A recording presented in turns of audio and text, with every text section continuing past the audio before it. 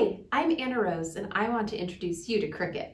Here at Cricut, our mission is to help inspire people to create. At the heart of it all is our Cricut machines, like these ones here. These machines allow you to design and make amazing personalized things, from simple stickers to handmade cards to personalizing your own t-shirts and even creating large wall decals. Cricut can cut hundreds of materials. It can also write and draw.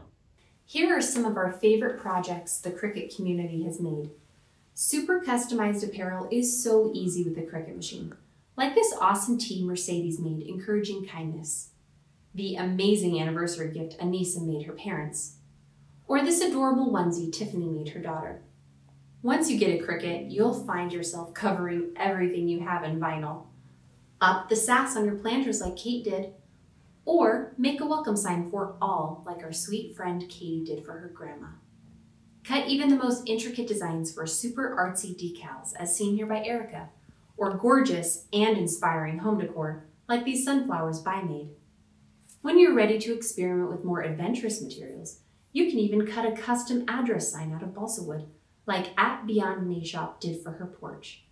We hope you're inspired. Now, let's talk about how the machines work. Our machines operate with software called Design Space that works on mobile devices or laptops. Because it is in the cloud, I can even design from the road and then when I get home, I can pick it up again. There are three easy steps. First, I search through ready to make projects or the image library to create my design from scratch. Second, once I have designed my project, the software tells the machine to cut or draw the design. Third, I put it all together. The possibilities are endless. Cricut truly helps you lead a creative life. And once you get started, it is impossible to stop.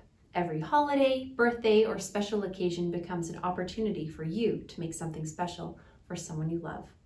For more information, click the link below.